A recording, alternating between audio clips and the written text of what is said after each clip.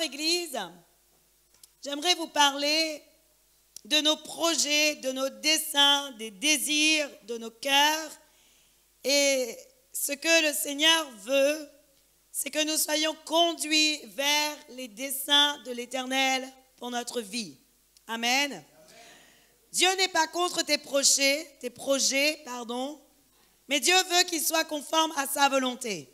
Amen. Et aujourd'hui, lorsqu'on regarde notre vie, lorsqu'on regarde notre état, lorsqu'on regarde ce que l'on est, on peut constater que l'homme a beaucoup de désirs en lui. Il a beaucoup de souhaits, il a beaucoup de projets et il a envie de faire beaucoup de choses. Et réellement, nous avons été aussi créés pour faire, nous avons été créés pour produire et nous avons la capacité qui nous a été donnée depuis le commencement de toutes choses pour produire. Mais Église, dans ce que nous voulons faire, dans nos projets, nous voulons aussi avoir la réussite de toutes nos entreprises. Amen. Et le problème est que parfois, l'entreprise ou le projet que nous avons ne fonctionne pas. Et aujourd'hui, le Seigneur désire vraiment ardemment que tu puisses comprendre ce qu'il attend de toi dans tes projets. Lorsque tu en fais, lorsque tu commences à penser à quelque chose, parce que Dieu veut te conduire selon sa parole. La parole de Dieu est vraiment efficace. Et dans la parole de Dieu, nous avons des clés qui nous permettent d'accéder à des victoires. Nous avons des clés qui nous permettent d'accéder à des réussites. Mais parfois, nous nous en privons. Il y a des personnes qui ne lisent jamais la parole de Dieu, qui ne vont jamais chercher ce que Dieu a pour eux quand ils sont à l'extérieur de l'Église. À l'intérieur de l'Assemblée, ils reçoivent ce que le Saint-Esprit a à leur donner, mais quand ils sont à l'extérieur, rares sont les fois qu'ils ouvrent la Bible, ou s'ils l'ouvrent, c'est seulement pour qu'elle soit restée ouverte dans la maison, mais cela ne sert à rien. Cela ne sert strictement à rien d'ouvrir seulement la Bible cela ne sert strictement à rien de ne pas lire la parole de Dieu parce que c'est dans la parole de Dieu que tu as toutes les clés pour pouvoir avoir une vie de victoire. Et j'aimerais dire également que lorsque nous avons la parole de Dieu, tous les ingrédients de la parole sont bons. Il n'y a rien à jeter, rien. Même si c'est une correction, même si Dieu nous dit quelque chose qui ne nous plaît pas, nous ne sommes pas là pour discuter avec Dieu. Et j'aimerais vous dire, Dieu est Dieu. Et même si Dieu est amour, Dieu est saint, Dieu est Seigneur et Dieu est redoutable. Et il y a des gens, ils pensent que Dieu n'est qu'amour. Mais je vais te dire quelque chose, si tu n'arrives pas à accepter les corrections de Dieu, viendra un moment où Dieu s'éloignera définitivement de toi. Et tu ne pourras t'en vouloir qu'à toi-même.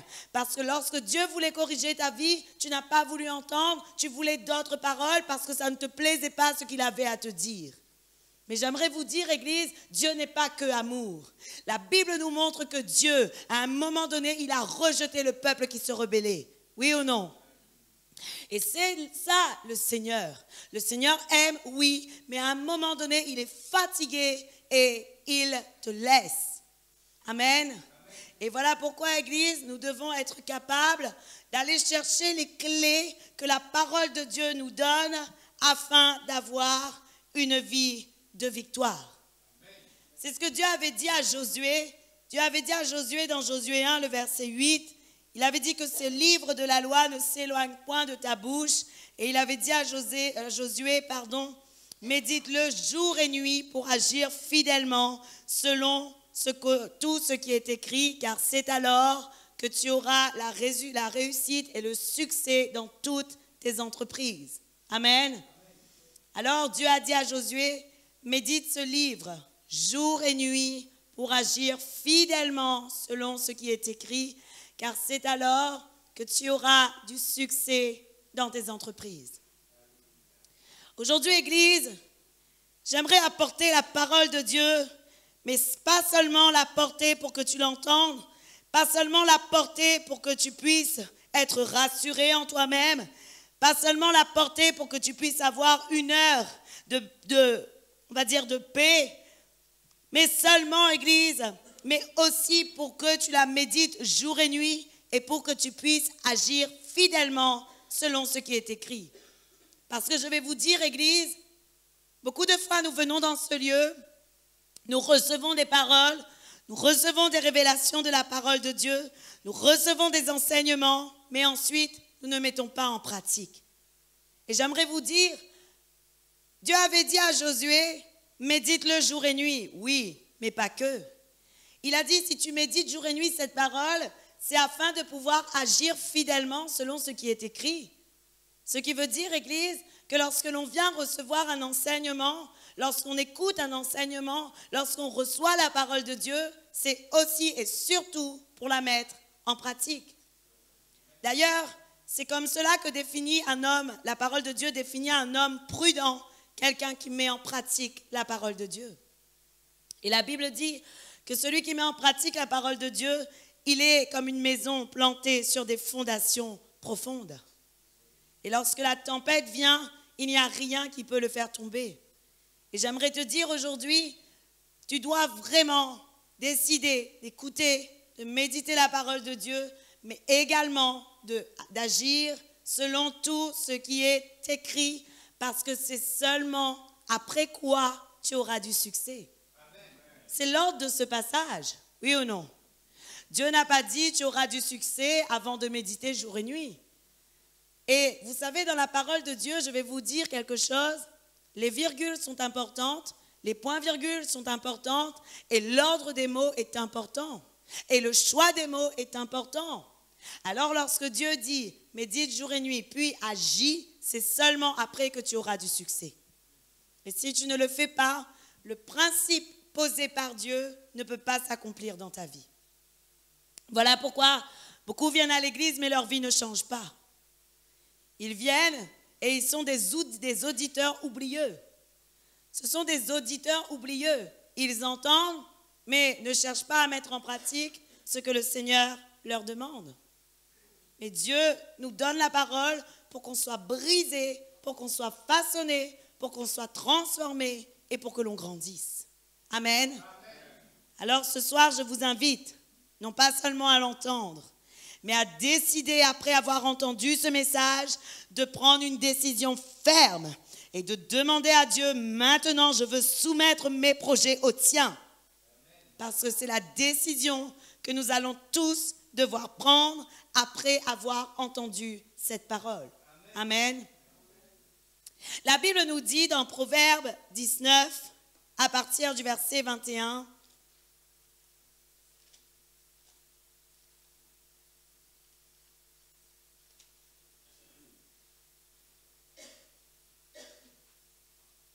le verset 21 nous dit,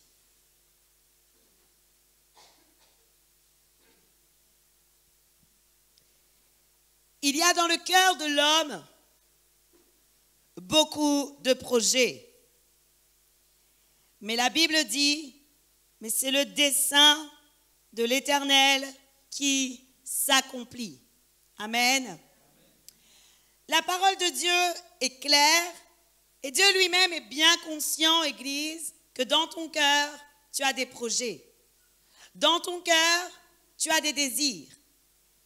Et Dieu t'a créé aussi, comme je viens de te dire tout à l'heure, pour avoir des projets et pour avoir des désirs.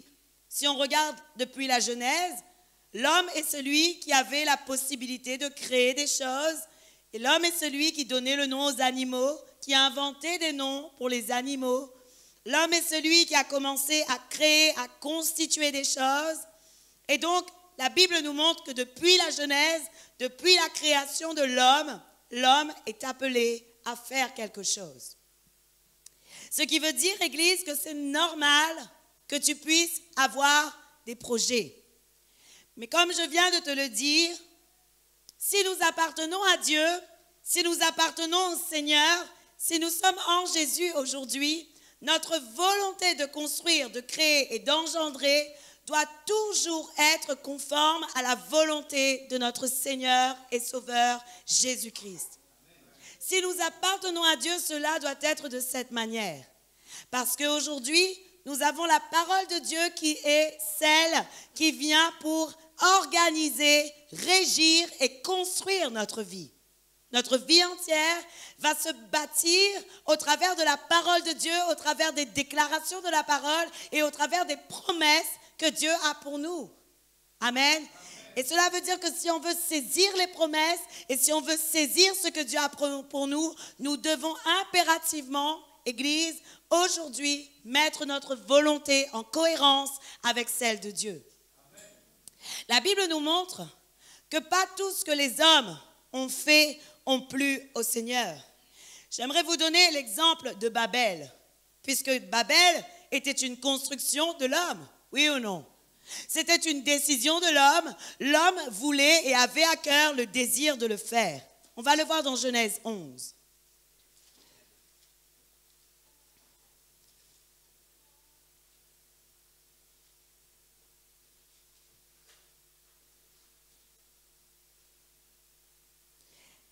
à partir du verset premier.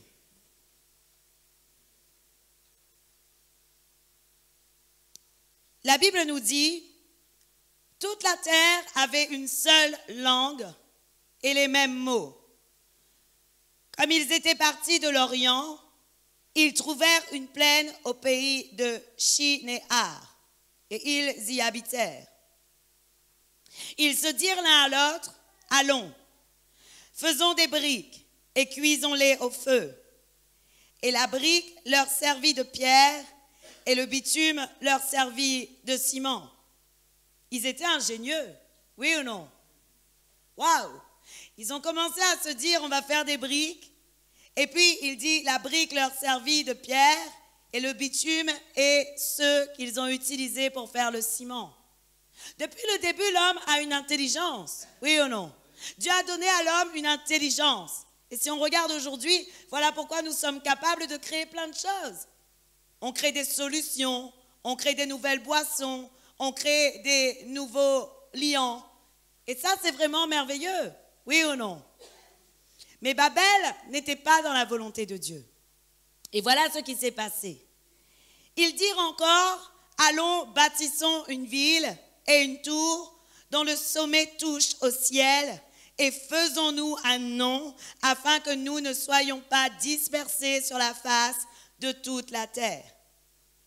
L'Éternel descendit pour voir la ville et le tour et la tour que baptisaient, bâtissaient les fils de l'homme.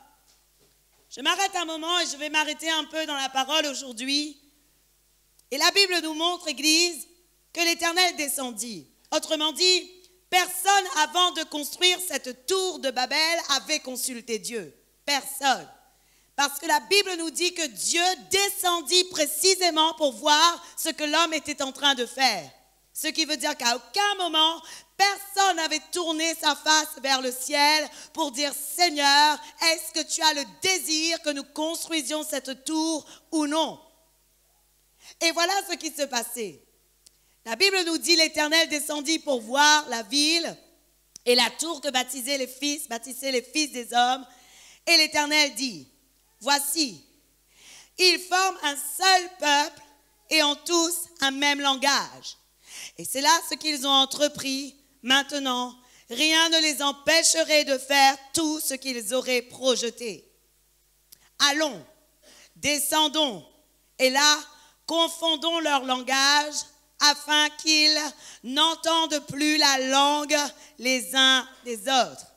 Et l'Éternel les dispersa loin de là, sur la face de toute la terre, et ils cessèrent de bâtir la ville. C'est pourquoi on l'appela du nom de Babel, car c'est là que l'Éternel confondit le langage de toute la terre, et c'est de là que l'Éternel les dispersa sur la face de toute la terre. Amen. La parole de Dieu est claire. Dieu descendit pour voir ce que l'homme était en train de faire. Et Dieu a remarqué que l'homme était en train de faire une œuvre qu'il n'avait pas lui-même demandée, qu'il n'avait pas lui-même orchestrée, qu'il n'avait pas lui-même prévue, mais que l'homme avait décidé lui-même de faire cette œuvre. Et qu'est-ce qui s'est passé? Dieu a confondu le langage des hommes. Voici ce qui se passe. Bien souvent, Église, nous avons des projets, nous avons des dessins et nous les formons. Et nous commençons parfois à faire des choses, nous commençons à bâtir pierre sur pierre, à prendre des lions, du ciment et toutes sortes de choses pour monter ce projet avant même d'avoir consulté le Seigneur. Mais le problème, et que lorsque tu as commencé à construire pierre sur pierre, sans consulter Dieu, tu ne sais pas si ce projet va pouvoir continuer jusqu'à la fin. Et si cela ne plaît pas à Dieu, il fera comme Babel et il arrêtera ce que tu es en train de construire. Puisque la parole de Dieu nous dit dans Proverbe 19, le verset 21, que le cœur de l'homme a beaucoup de projets, mais seuls les desseins de l'Éternel s'accomplissent réellement. Voilà pourquoi beaucoup d'entre nous, nous commençons des choses sans avoir consulté Dieu et nous échouons. Beaucoup d'entre nous, nous commençons à faire des projets, nous commençons à dépenser de l'argent, à investir dans beaucoup de choses, mais malheureusement, à un moment donné, tout est perdu parce que nous n'avons jamais consulté l'Éternel. Et j'aimerais te dire aujourd'hui, si tu veux gagner, si tu veux gagner et conserver ton argent, si tu veux aujourd'hui ne pas être dans la pauvreté à cause d'une mauvaise décision, il est impératif, avant de prendre quelconque décision, de consulter le Seigneur. Quelconque décision demande une consultation d'abord de l'Éternel. Parce que la parole de Dieu te dit, quoi que tu fasses, ce sera le dessein de l'Éternel qui s'accomplira dans ta vie. Quoi que tu fasses, ce sera le dessein et la décision finale de Dieu qui s'accomplira dans ta vie. Et je crois vraiment, Église, que si aujourd'hui nous vivons parfois des échecs, des moments d'échec, c'est souvent pour la majeure partie des cas parce que nous n'avons rien demandé à Dieu et nous ne lui avons jamais demandé, Seigneur, est-ce bien ta volonté? Mais j'aimerais te dire aujourd'hui, la première chose que tu dois comprendre, ce n'est pas tout ce que tu as dans le cœur que tu dois accomplir, mais c'est ce qui est dans le plan de Dieu. Ce n'est pas parce que tu as quelque chose à cœur que tu dois impérativement commencer à le faire. Tu dois seulement chercher la décision de Dieu et quel est le plan de Dieu. La Bible nous montre l'exemple de David. De Samuel 7, à partir du verset premier. Ce soir, c'est ce que le Saint-Esprit veut vous dire. Ce n'est pas mon message, c'est le sien.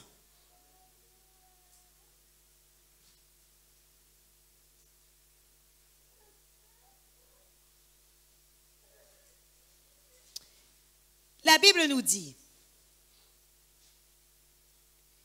lorsque le roi habita dans sa maison, et que l'Éternel lui eut donné du repos, après l'avoir délivré de tous les ennemis qui l'entouraient, il dit à Nathan le prophète, Vois donc, j'habite dans une maison de cèdre, et l'arche de Dieu habite au milieu d'une tente. Nathan répondit au roi, Va, fais ce que tu as dans le cœur, car l'Éternel est avec toi. Waouh! On va s'arrêter ici pour le moment. David avait quelque chose dans le cœur. David avait un désir dans le cœur. Il constatait que lui, il habitait dans une belle maison, mais il constatait que le temple, la tente de Dieu, n'avait rien. Et alors, l'arche de Dieu, pardon, n'avait rien, et que l'arche de Dieu était dans une tente. Et alors, David avait à cœur une décision qui semblait bonne. La décision qui semblait bonne était de construire un temple pour l'Éternel. Et savez-vous, Église, Nathan était le prophète de David. Et qu'est-ce qui s'est passé? Au moment où David avait cette idée Nathan dit à David, mais vas-y, il n'y a pas de problème, car l'Éternel est avec toi. J'aimerais vous dire la première erreur que tous les chrétiens ou la majeure partie des chrétiens aujourd'hui font. Ils ont dans le cœur une idée qui semble être conforme à la volonté de Dieu, qui semble être la bonne, parce qu'en réalité, elle n'est pas contraire à ce que le Seigneur nous demande. Et dans le cas de David, cela semblait être une bonne idée. Construire un temple pour Dieu, waouh, c'est une bonne idée, oui ou non? Mais la réalité était que ce n'était pas la volonté de Dieu. Ce n'était pas la volonté de Dieu parce que la Bible nous parle ensuite et nous dit que Dieu lui-même a parlé à Nathan la nuit et qu'il a dit à Nathan, ce n'est pas David qui va me construire un temple, mais après que David se soit couché avec les anciens, c'est son fils qui me bâtira un temple. À ce moment-là, Église, David a eu la possibilité de ne rien faire. Il n'a pas dépensé un sou. Il n'a pas dépensé une énergie. Il n'a rien dépensé du tout. Pourquoi? Parce qu'il y avait un homme de Dieu qui a reçu une révélation pour lui et qui lui a dit ce n'est pas la volonté de Dieu. Et j'aimerais te dire aujourd'hui, Arrête de faire cette erreur parce que tu penses que c'est une bonne chose, parce que tu as une idée à cœur. Tu penses que toutes tes idées bonnes qui ne sont pas contraires à la parole de Dieu sont des décisions qui viennent de Dieu. Il est temps aujourd'hui de commencer à se dire, est-ce vraiment de toi, Seigneur, ou est-ce seulement un désir que je cultive moi-même dans mon cœur à cause de mes sentiments. Parce que David avait cela à cœur à cause du sentiment qu'il avait pour Dieu. David aimait Dieu, David honorait Dieu, David respectait Dieu. Et qu'est-ce qu'il voulait faire? Il voulait construire le temple. Mais ce n'était pas par lui que cela devait se faire. J'aimerais te dire quelque chose. David a eu la capacité de discerner parce qu'il avait le prophète Nathan qui lui donnait. Et parfois tu pourrais me dire, mais pasteur, moi je n'ai pas de prophète pour me dire tout de suite ce qu'il faut et qu'il ne faut pas faire. Mais je vais te dire quelque chose. C'est un faux argument. C'est un faux argument parce que tu as le Saint-Esprit. Et puisque tu as le Saint-Esprit, la Bible dit que tu es prophète. Tu es prophète sur ta propre vie et tu es capable de savoir précisément ce que Dieu attend de toi. Si du moins tu vas pour lui parler et lui demander, Seigneur, est-ce que tu veux que je fasse cette chose? Mais le problème, Église, c'est que dans la majeure partie des cas, comme ça semble conforme, on ne pose pas la question à Dieu. C'est une première erreur. Première erreur.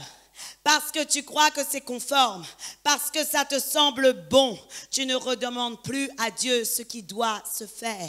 Tu ne vas plus dans l'intimité pour le chercher. Tu ne vas plus lui demander, Seigneur, est-ce de toi cette idée? Est-ce bien toi qui veux que je le fasse? Est-ce bien toi? Non, tu t'empresses de le faire. Et alors, qu'est-ce qui se passe? J'ai une idée, j'ai une idée, et tu vas commencer à dépenser de l'argent, tu vas commencer à dépenser de l'énergie, tu vas commencer à dépenser dépenser du temps dans quelque chose qui n'est pas de la volonté de Dieu, alors je vais te le dire, au moment où Dieu décidera, cela s'arrêtera.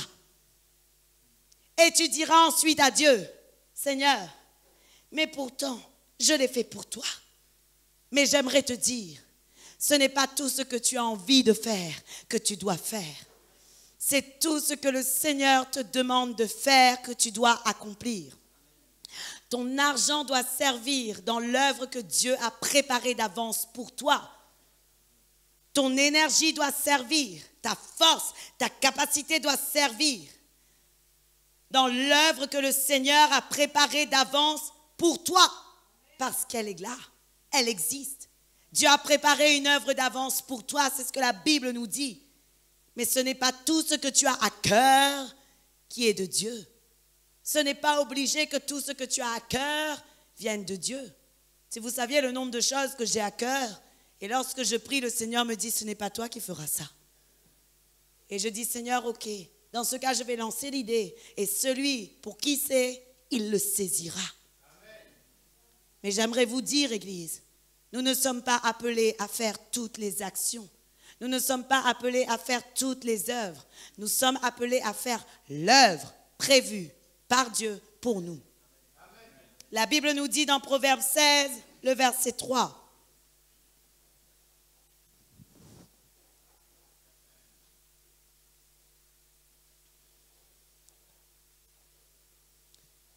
Recommande tes œuvres à l'Éternel et tes projets réussiront.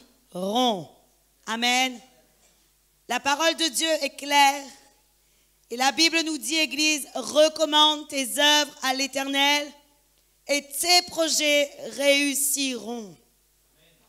J'aimerais te dire, Église, pour pouvoir vaincre ce premier problème, cette première erreur que je viens de te dire, tu dois impérativement recommander à l'Éternel ce que tu veux faire. Et j'aimerais, Église, que tu puisses comprendre que le Seigneur n'est pas un Dieu qui va te tromper. Dieu ne va pas te tromper lorsque tu vas lui dire, Seigneur, est-ce que je dois faire ça ou si? Est-ce que je dois agir plutôt comme ça ou comme ceci? Dieu n'est pas un Dieu qui trompe parce que Dieu t'aime. Et tu ne dois pas avoir peur, Église, de lui demander tout ce que tu dois faire ou non. Tu ne dois pas. Parce que j'ai remarqué, Église, que notre cœur est vraiment tortueux parfois et que notre cœur nous conduit parfois dans des choses que Dieu ne veut pas que nous fassions. Mais j'ai remarqué aussi que parfois, notre cœur nous éloigne de la volonté parfaite de Dieu pour notre vie. Il y a des moments aussi où notre cœur médite d'autres projets, d'autres desseins, et il nous éloigne de la volonté parfaite de l'Éternel. Et voilà pourquoi, Église, aujourd'hui, je te le dis, tu ne dois plus laisser tes sentiments, tes impressions te dominer dans la recherche de la volonté de Dieu pour ta vie. Ne laisse plus jamais tes sentiments et tes impressions te dominer. Ne laisse plus ni tes sentiments, ni tes impressions, ni tes pensées dominer les choix que tu dois faire pour le Seigneur. Parce que viendra le moment où le Seigneur va te dire clairement et précisément ce qu'il veut que tu fasses. J'aimerais, Église, vous donner un exemple. Souvent, nous avons à cœur quelque chose et nous ne sommes pas sûrs si c'est Dieu. Mais parfois, pourtant, c'est bien ce que le Seigneur nous demande. Ce que moi je conseille, c'est que lorsque tu as quelque chose à cœur, ne t'empresse pas d'aller le faire. Prends le temps de prier. Prends le temps d'attendre. Prends le temps d'attendre la réponse que le Seigneur va te donner. Prends le temps d'attendre les confirmations. Demande à Dieu de te prouver et de te montrer que c'est réellement de lui que cela vienne. Parce que j'aimerais vous dire, Gédéon nous montre lui-même il a posé un toison, oui ou non? Et nous, parfois, nous devons oser poser un toison à Dieu et lui dire, si ça vient de toi, alors fais ces choses et montre-moi. Parce que Dieu agit encore de cette manière. Je suis désolée de dire. Je ne sais pas quel enseignement vous avez reçu, mais moi, je sais que mon Dieu agit encore de cette manière avec moi. Dieu agit de cette manière avec moi. Je vais vous donner un exemple précis. Il y a plusieurs mois, le Seigneur me disait, et j'avais la ferme conviction que je devais apprendre et aller faire des cours d'anglais. Et je ne sais pas pourquoi, mais le Seigneur me dit, va faire des cours d'anglais. Et moi, j'ai commencé à dire, oh là là, c'est parce que j'ai entendu telle personne dire qu'un jour Dieu lui avait dit d'aller faire des cours d'anglais, et c'est à cause de cela, c'est comme si je veux copier. Et j'ai commencé à penser plein de choses. Mes pensées ont commencé à m'envahir, à me dire, mais non, tu ne peux pas aller faire des cours d'anglais, quand est-ce que tu trouveras le temps? Dieu t'aurait jamais demandé ça, quand même. Tout ce que tu fais, tu vas jamais faire des cours d'anglais. Où tu vas prendre ce temps de le faire? Et c'était il y a plusieurs mois, plusieurs années même. Depuis que j'ai commencé le ministère, Dieu me dit commence les cours d'anglais. Et je vais vous dire quelque chose. J'ai éteint cette voix que j'avais à cœur. Pourtant, ça, c'était une bonne chose. Et je crois aujourd'hui et je sais que cela vient de Dieu et je vais vous dire pourquoi. Dernièrement, le Seigneur me reparlait encore de ses cours d'anglais. Et je disais, Seigneur, j'ai entendu, tu veux que je fasse des cours d'anglais. Et vous savez, Église, c'est devenu maintenant, non plus comme une petite voix dans mon cœur, mais c'est devenu comme un feu qui me pousse impérativement à avoir envie d'aller faire des cours d'anglais. Parce qu'au début, Dieu te parle par une douce voix. Et il te dit, fais ça. Mais comme tu n'entends pas, à un moment donné, Dieu commence à hausser la voix. Il commence à hausser le ton. Et il commence à te dire maintenant, fermement, je veux te le dire, fais-le. Et alors, encore même si j'avais ce feu, j'ai dit à Dieu, prouve-moi. Elle est peu fière, la fille. Je disais à Dieu, Seigneur, excuse-moi, mais prouve-moi, s'il te plaît. Hier, une personne me regarde. Elle n'a jamais parlé avec moi de cela. Elle me regarde et elle me dit, alors ça va? Et tes cours d'anglais alors? J'ai dit, Seigneur, j'ai compris, j'ai entendu, je m'y presse, je m'y mets, tout de suite. J'aimerais vous le dire. Lorsque cela vient de Dieu, lorsqu'une décision est dans ton cœur et qu'elle vient de Dieu, Dieu ne cessera pas de te rappeler qu'il a mis cela dans ton cœur et il ne cessera pas jusqu'à ce que tu saisisses la parole et que tu décides de faire quelque chose avec ce qu'il te dit. Mais j'aimerais te dire, si tu ne fais pas, Dieu prendra quelqu'un d'autre pour le faire à ta place.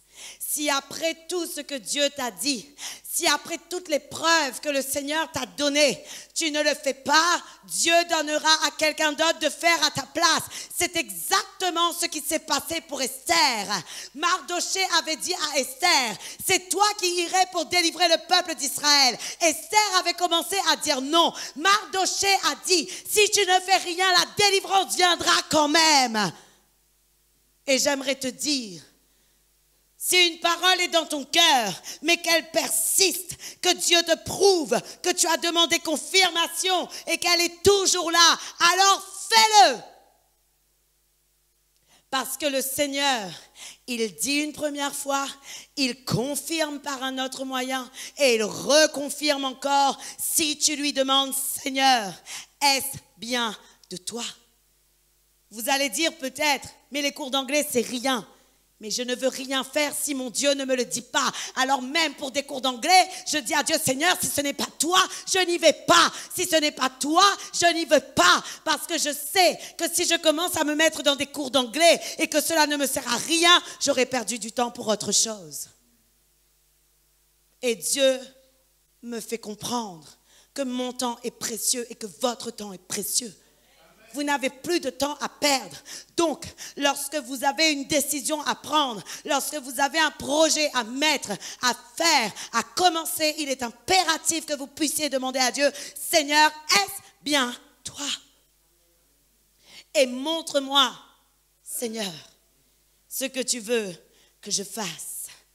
Amen. J'aimerais te le dire, Église, et t'encourager. Lorsqu'un projet vient de Dieu, quelle que soit la difficulté, quelle que soit l'épreuve, quelle que soit la dureté, quel que soit ce qu'il en est, ce projet s'accomplira. J'aimerais vous parler également d'un deuxième, d'une deuxième erreur que l'on fait souvent.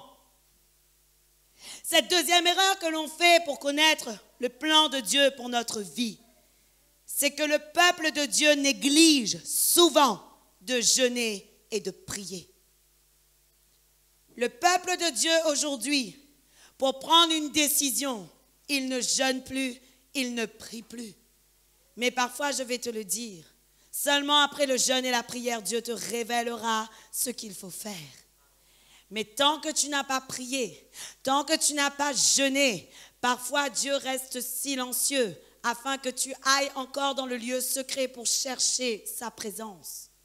Vous qui voulez réussir, commencez à jeûner et à prier.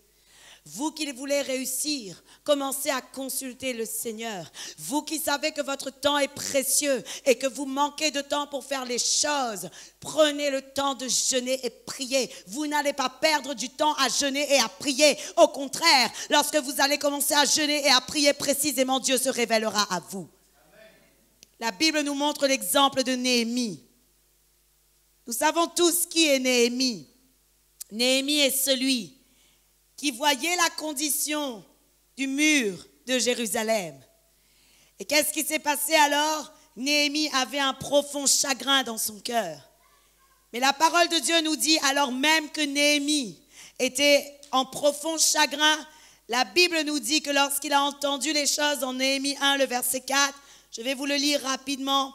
La Bible nous dit, Néhémie, lorsque j'entendis ces choses, je m'assis je pleurai et je fus plusieurs jours dans la désolation. Je jeûnais et je priais devant le Dieu des cieux. Amen. La parole de Dieu, Église, nous montre que lorsque Néhémie a entendu que le peuple de Jérusalem était en souffrance, un fardeau a commencé à être créé dans son cœur. Et donc lui, je crois que en tant qu'humain, il avait envie de se lever et aller défendre son peuple. Parce que j'aimerais te dire, quelqu'un qui a du cœur et qui voit une personne de sa race, une personne de sa nation, une personne de sa famille, une personne de sa tribu en train de souffrir, la seule envie qu'il a, c'est de se lever et d'aller défendre. Oui ou non? Et dans le cas de Néhémie, c'était ce qui se passait dans son cœur. Mais la Bible nous dit qu'avant de faire quoi que ce soit, Néhémie a commencé à jeûner et à prier, à chercher la face de Dieu. Et savez-vous, Église, ce qui s'est passé? La Bible nous dit qu'au moment où Néhémie a commencé à aller voir le roi, les portes du roi étaient ouvertes pour lui. La Bible nous dit dans Néhémie 2, le verset 2 à 4, le roi me dit, pourquoi as-tu mangé, as-tu mauvais visage? Tu n'es pourtant pas malade, ce n'est peut-être qu'un chagrin de cœur je fus saisi d'une grande crainte. Et je répondis au roi, que le roi vive éternellement. Comment n'aurais-je pas mauvais visage lorsque la ville où sont les sépulcres de mes pères est détruite et que ses portes sont consumées par le feu?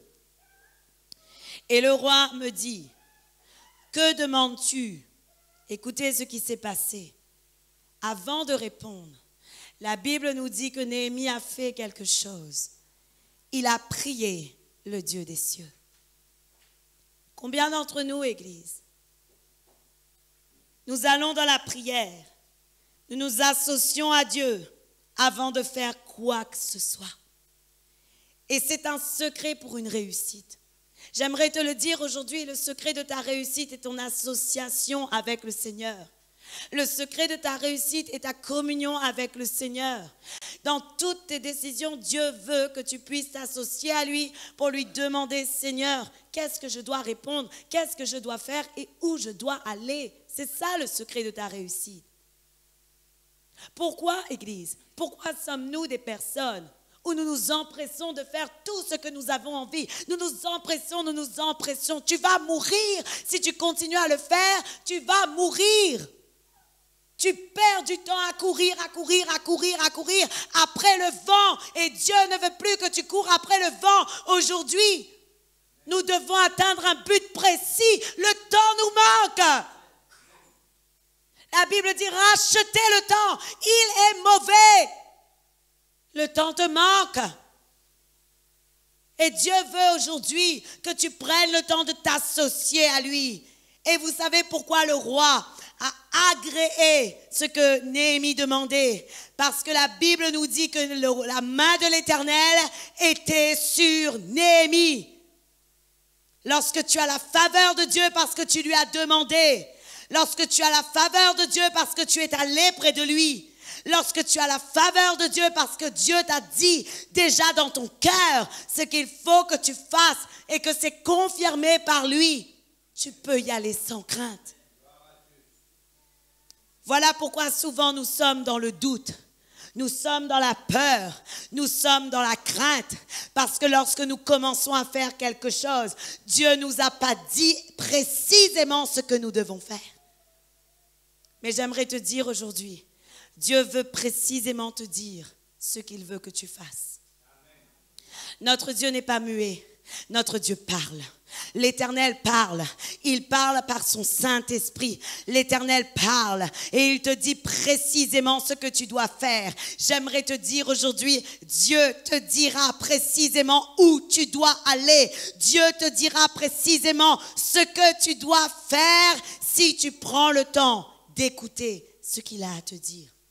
Jeune, prie, écoute. Jeune, prie, écoute. Jeune, prie, écoute. Et la prière, c'est une conversation, mais aussi une écoute. La prière, c'est une conversation, mais aussi une écoute. Si tu parles seulement, comment Dieu va-t-il te dire ce qu'il veut que tu fasses? Beaucoup de personnes parlent, parlent, parlent. Mais quand Dieu leur demande deux heures d'écoute, ils ne sont pas là. J'ai d'autres choses à faire. Seigneur, je ne ressens pas ta présence. Seigneur, je n'ai pas l'impression que tu es là. Bon, je vais aller laver la vaisselle alors. Tu n'es pas là? J'aimerais te dire, pendant ce temps que tu passes avec Dieu, peut-être que c'est au bout d'une heure cinquante-neuf que Dieu te parlera. Mais parce que tu es resté là à attendre, Dieu te donnera une révélation. Et tant que tu n'as pas la révélation, ne quitte pas le lieu de prière. Tant que tu n'as pas la révélation de quoi faire, ne quitte pas le temps de prière. Je sais que je sais que je sais que Dieu te dira quoi faire. Je sais que je sais que je sais que Dieu te dira quoi faire. Je suis sûr, Dieu te dira quoi faire. Parce que notre Dieu parle. Notre Dieu parle, notre Dieu est vivant, il n'est pas muet, il ne veut pas rester muet, il veut te parler. La première fois que Dieu t'a parlé pour te prouver qu'il n'est pas muet, c'est lorsqu'il t'a présenté Jésus et que tu as été convaincu de l'amour de Jésus pour toi. C'était la première fois. Et sa parole ne s'est pas arrêtée là pour toi. Jésus ne t'a pas arraché du royaume des ténèbres pour ensuite ne plus rien te dire. Dieu a parlé une fois et il te parlera encore plusieurs fois. Mais pour cela, tu as besoin, Église, d'être attentif. Alors la Bible nous révèle que Néhémie avait reçu à cœur précisément ce que Dieu lui avait dit.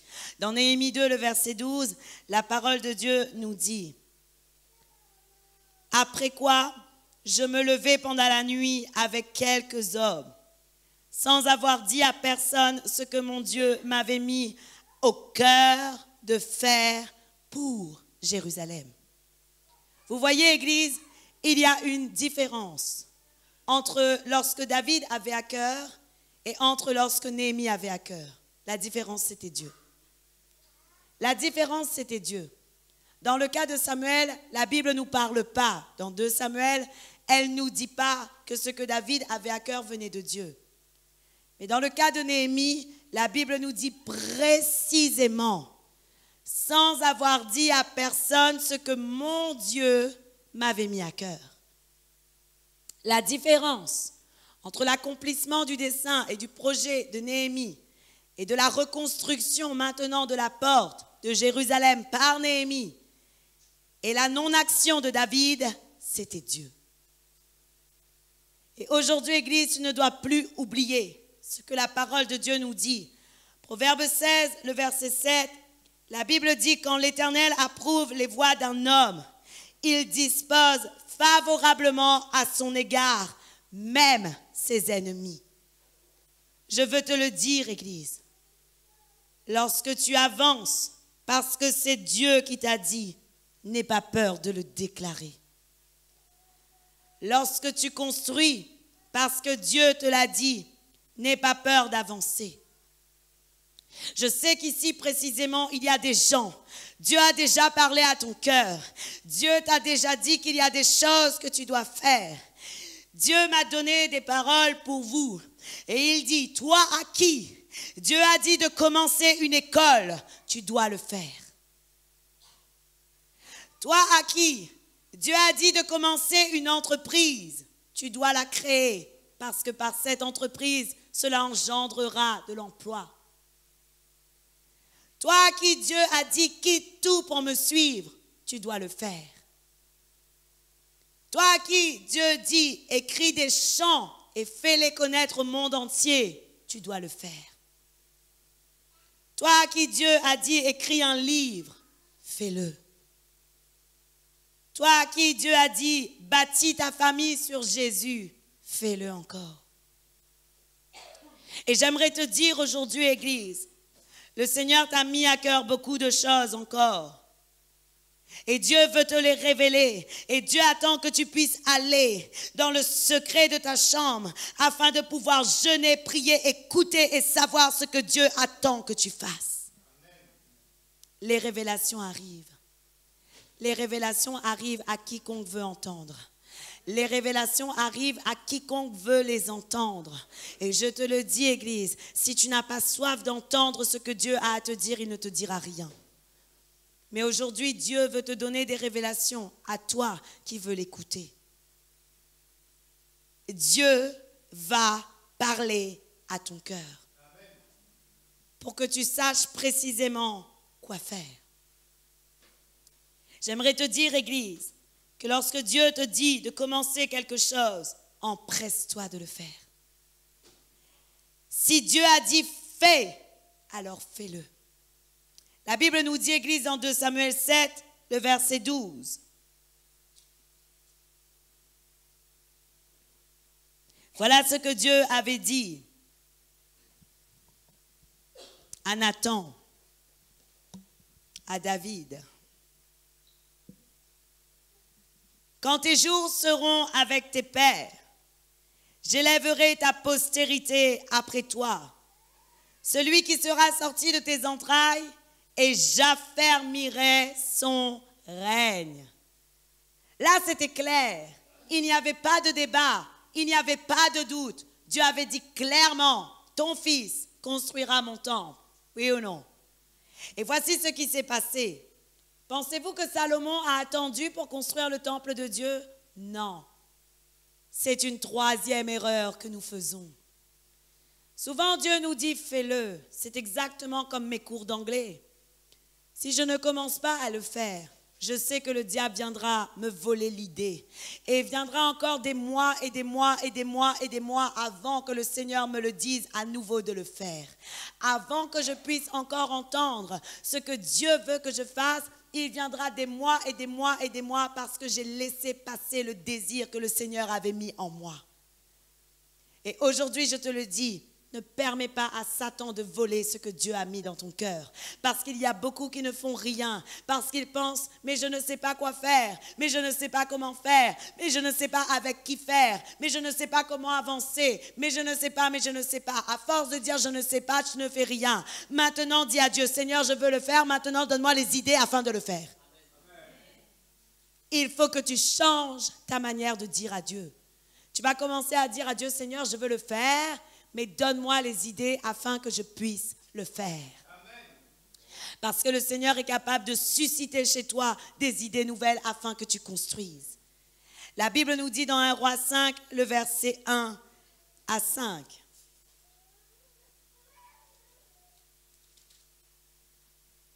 Hiram, roi de Tyr, envoya ses serviteurs vers Salomon, car il apprit qu'on l'avait oint pour roi à la place de son père et il avait toujours aimé David. Salomon fit dire à Hiram, tu sais que David, mon père, n'a pas pu bâtir une maison à l'Éternel, son Dieu, à cause des guerres dont ses ennemis l'ont enveloppé, jusqu'à ce que l'Éternel les ait mis sous la plante de ses pieds. Le verset 4 nous dit, Maintenant, l'Éternel, mon Dieu, m'a donné du repos de toutes parts, plus d'adversaires, plus de calamité. Voici, j'ai l'intention de bâtir une maison au nom de l'Éternel, mon Dieu. Comme l'Éternel l'a déclaré à David, mon Père, en disant, ton fils que je mettrai à ta place sur ton trône, sera, ce sera lui qui bâtira une maison à mon nom. Amen. Aussitôt, Salomon a commencé, lorsqu'il en avait la capacité, lorsqu'il en a pris conscience, Salomon a dit maintenant, moi, je vais aller bâtir le temple de Dieu. Et je vais vous dire quelque chose. Et le temple de Dieu n'était pas minime. Le temple de Dieu faisait 60 coudées de long, 20 de large et 30 de haut. La mesure coudée, je vais vous la donner. C'est du coude jusqu'au bout du majeur, pour votre connaissance personnelle. La coudée se calcule du coude jusqu'à l'extrémité du majeur. 60 coudées représentent à peu près 28 mètres de long. Amen. Et j'aimerais vous dire, Église, que Salomon ne s'est pas contenté de faire un temple banal. Non. Salomon voulait faire quelque chose de merveilleux, quelque chose d'excellent pour Dieu. Et la Bible nous dit que non seulement le temple était haut, large et grand, mais en plus il était recouvert d'or. J'aimerais vous dire aujourd'hui, Église, le problème et le quatrième problème et la quatrième erreur que l'on fait en tant qu'enfant de Dieu, c'est que même si le Seigneur nous a dit d'accomplir et que l'on commence à le faire, le problème est que lorsque nous voyons la difficulté, nous nous arrêtons à nous dire, Seigneur, ce n'était peut-être pas de toi. Et j'aimerais vous dire aujourd'hui, lorsque Dieu a dit que tu le fais, Dieu donne la vision, mais Dieu donne aussi la provision. Dieu donne la vision, mais Dieu donne aussi la provision. Et donc, si Dieu te dit de le faire, tu dois le faire. Arrête de regarder à tes incapacités. Dieu est Dieu, oui ou non? Il enverra celui qui doit t'aider. Il enverra celui qui doit construire avec toi. Il, enverra un Hiram, comme il a envoyé pour Salomon. Salomon avait Hiram, et ton Hiram arrive aussi. Il t'aidera à construire. Il te donnera les reins. Il te donnera les reins. Parce que si Dieu a dit, il le fait. Ne rentre pas dans cette quatrième erreur à dire, c'est trop dur, ce n'était pas de Dieu. Vous savez, Église, si je commençais à le dire, cette Église ne serait plus là. Parce que c'est dur de bâtir l'œuvre de Dieu.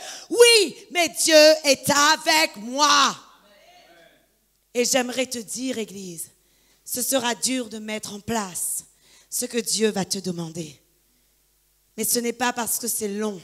Ce n'est pas parce que c'est haut, ce n'est pas parce que c'est large, et ce n'est pas parce que ça nécessite l'excellence et dont l'or que tu dois t'arrêter mais tu dois continuer à le faire.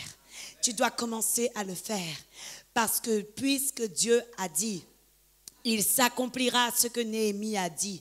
Néhémie avait dit, vous, moquez-vous de moi, ce n'est pas grave, mais Dieu me donnera le succès. Et j'aimerais te dire aujourd'hui, les gens diront des choses sur toi. Les gens se moqueront de ce que tu fais parce qu'ils voient que tu commences pierre sur pierre. Et parfois, il dit le pauvre, les dieux, le travail là, le pauvre.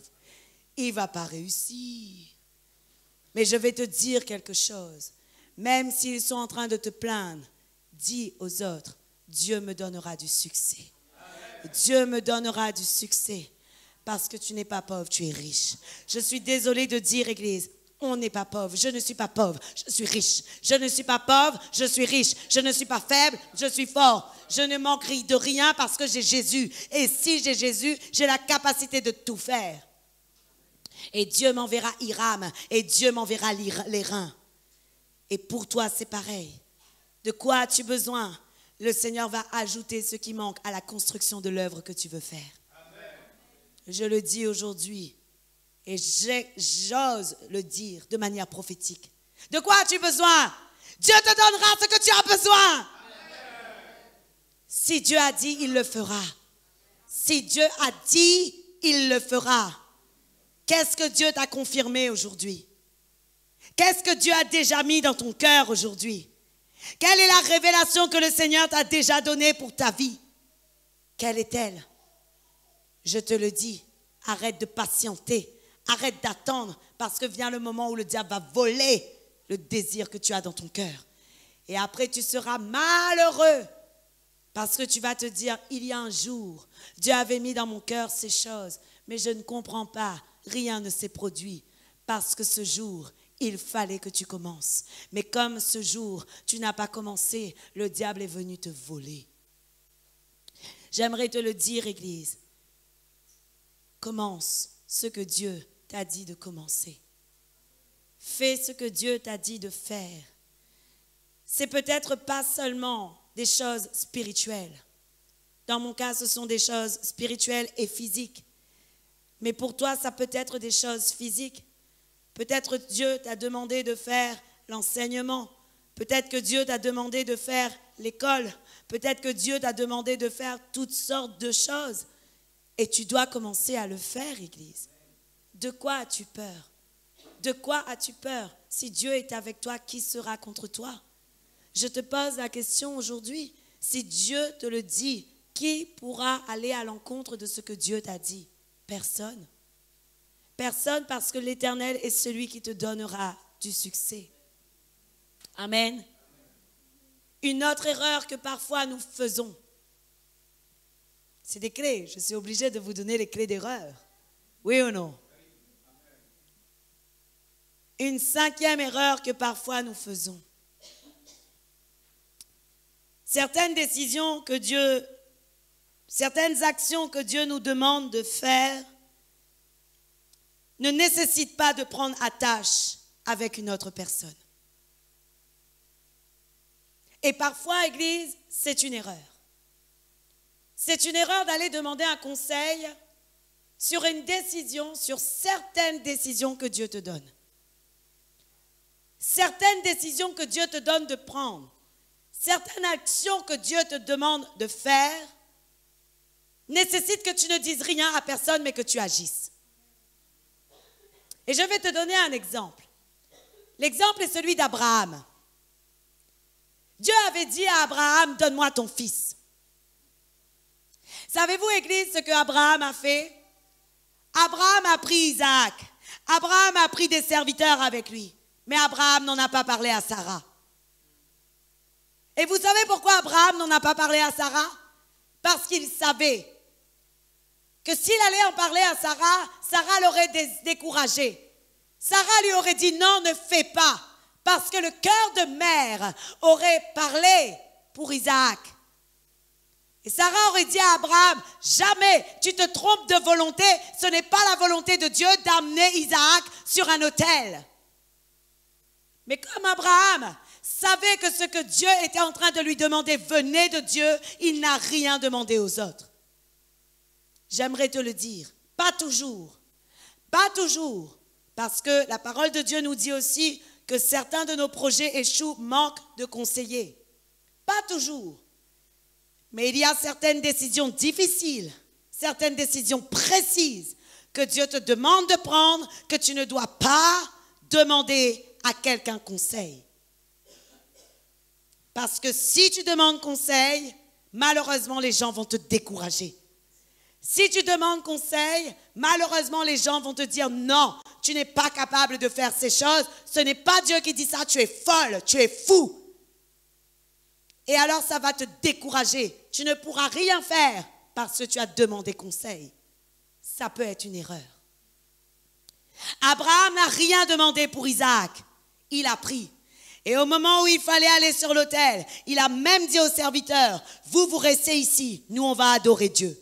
Il n'a rien dit jusqu'à la fin. Il a dit, on va pour adorer. Oui ou non?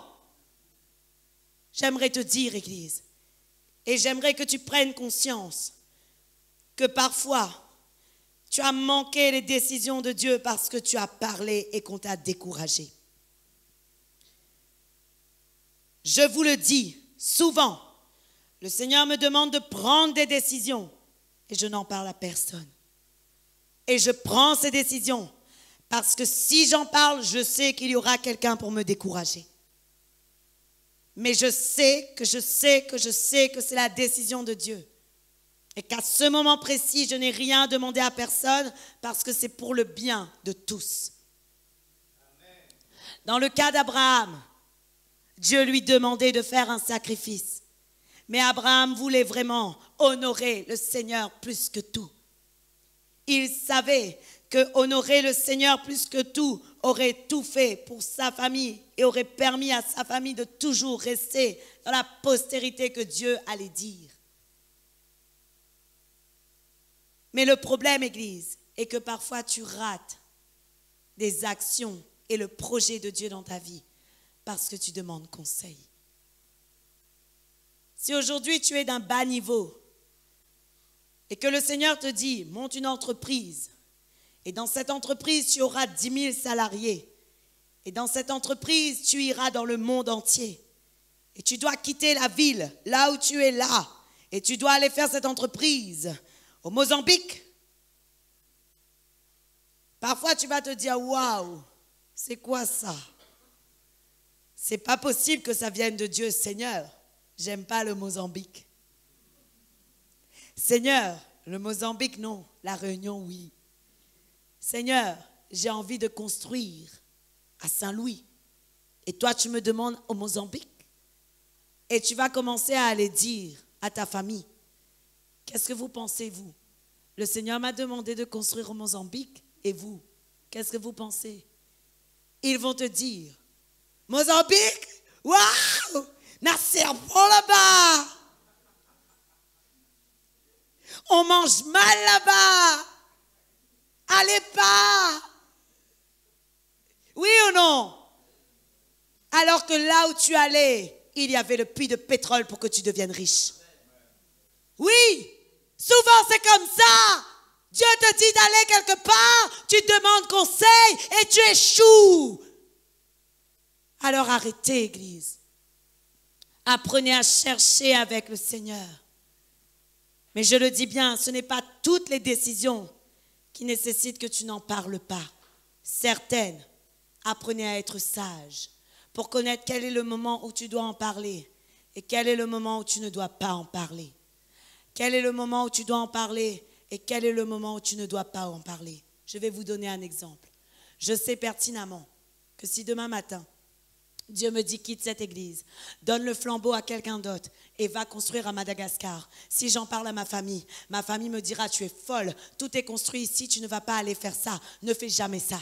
Mais si Dieu m'a dit je ne vous dirai pas, je vous le dis, si Dieu m'a dit je ne vous le dirai pas, je ferai tout, j'irai et je donnerai le flambeau à celui que Dieu a dit. Oui, c'est comme ça. C'est comme ça.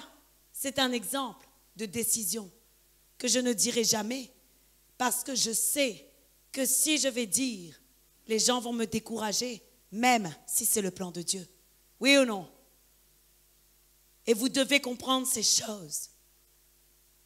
Maintenant, une sixième erreur existe lorsque tu cherches le plan de Dieu dans ta vie et que tu sais pertinemment ce que tu dois faire.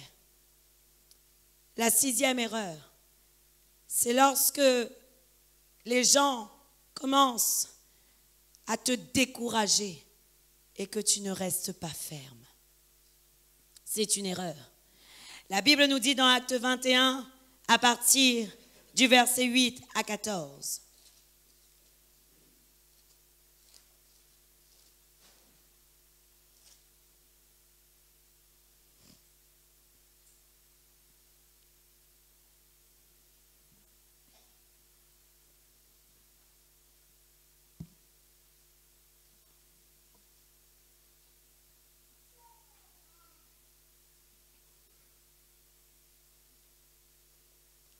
La Bible nous dit,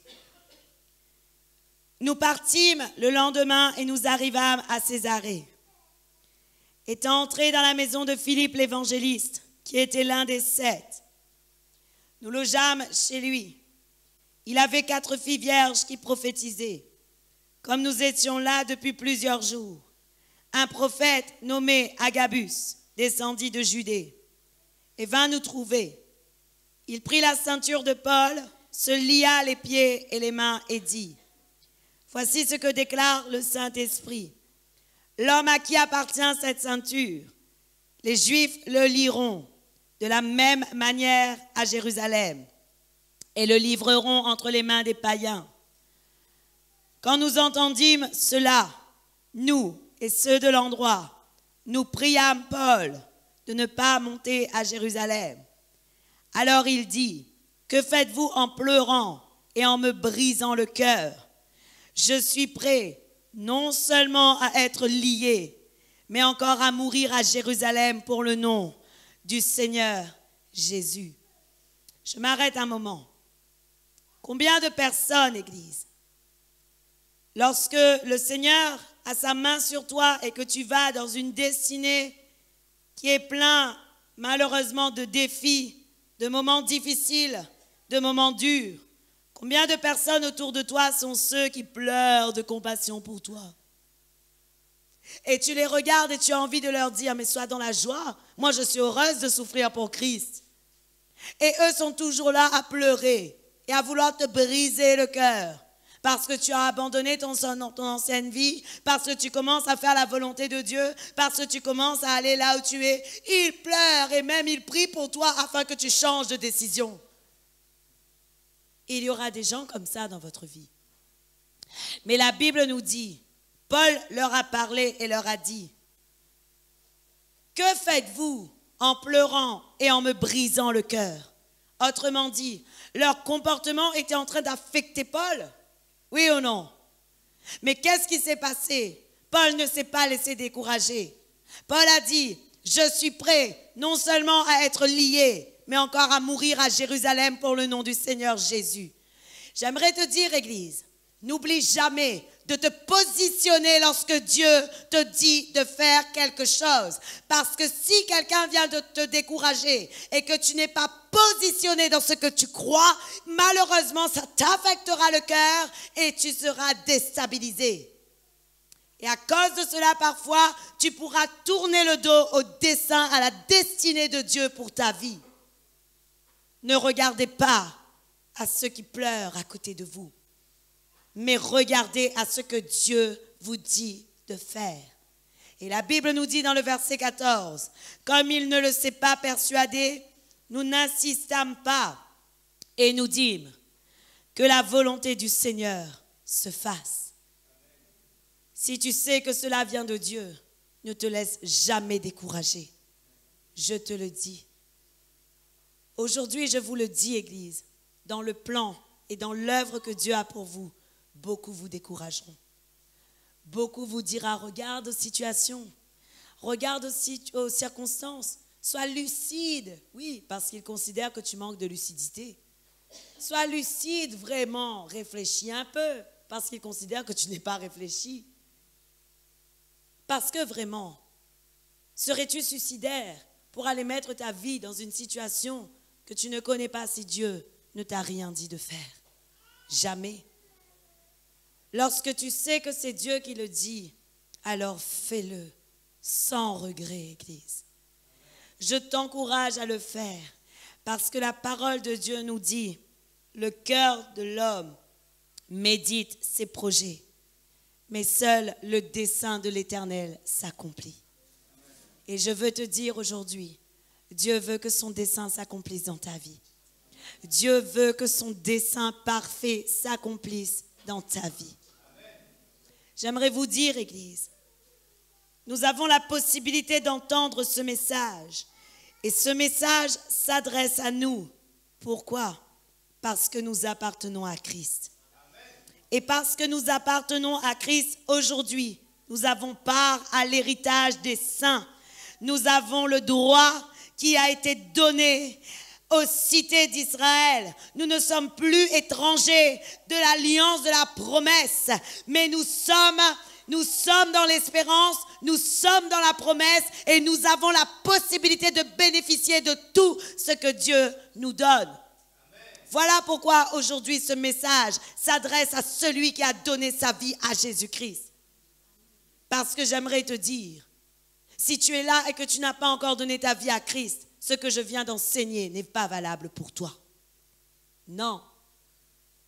Tu ne pourras pas recevoir la révélation de Dieu parce que tu es privé de relation avec le Seigneur, parce que tu n'as pas Jésus en toi. Et parce que tu n'as pas Jésus en toi, comment Dieu pourra-t-il te dire de faire et de faire le dessein qu'il a pour toi? Tu n'es pas dans son dessein, tu es dans un autre plan. J'aimerais vous le dire. Avant de, croire en Jésus, avant de connaître qui est Jésus, nous étions tous dans un autre dessein. Mais ce n'était pas la destinée de Dieu pour nos vies, c'était le dessein du diable. Parce que Dieu a un plan pour toi, mais le diable en a aussi un autre. Et aujourd'hui, je veux te le dire. Si tu veux recevoir et vivre les promesses de Dieu dans ta vie, tu dois impérativement avoir reçu Jésus-Christ comme Seigneur et Sauveur personnel. Et seulement après quoi, Dieu pourra te révéler précisément ce qu'il attend de toi. Tous les recoins de ta vie seront gérés par Dieu. Tous les recoins de ta vie seront révélés par Dieu. Vous allez dire, pasteur est dur, pourquoi elle dit ça? Les autres aussi peuvent connaître la volonté de Dieu pour leur vie. Je suis désolée de dire, ce n'est pas la parole. La Bible nous dit dans Éphésiens 2, et je vais vous donner la preuve de ce que la parole de Dieu dit. Éphésiens 2, le verset 12. Ce qui se produit, c'est que parfois tu touches du bout de doigt le dessin, mais tu n'entres pas dans la profondeur du plan. La Bible dit, Éphésiens 2, le verset 12, Souvenez-vous que vous étiez en ce temps-là sans Christ, privés du droit de citer en Israël, étrangers aux alliances de la promesse, sans espérance et sans Dieu dans le monde. Amen. La Bible dit, quand vous étiez sans Christ, vous étiez privés du droit de citer en Israël, étrangers aux alliances de la promesse, sans espérance et sans Dieu dans le monde. Mais le verset 13 dit, mais maintenant en Jésus-Christ, vous qui étiez jadis éloignés, vous avez été rapprochés par le sang de Christ. Et si on va directement au verset 19, la Bible dit ainsi donc, vous n'êtes plus des étrangers, ni des gens du dehors, mais vous êtes concitoyens des saints gens de la maison de Dieu. Amen. C'est par Christ que nous pouvons bénéficier de tout ce que Dieu a à nous donner. Sinon, à quoi servirait le Christ alors? Oui ou non? À quoi servirait le sacrifice de Christ alors? S'il ne nous donnait pas des engagements nouveaux, s'il ne nous donnait pas des possibilités nouvelles, le Christ nous a libérés totalement, entièrement. Le Christ nous a franchis totalement, entièrement. Et aujourd'hui, nous n'avons plus à errer, à errer, à errer, à errer, mais nous avons directement la possibilité d'atteindre le but que Dieu a pour nous. Amen. Et ça, c'est merveilleux.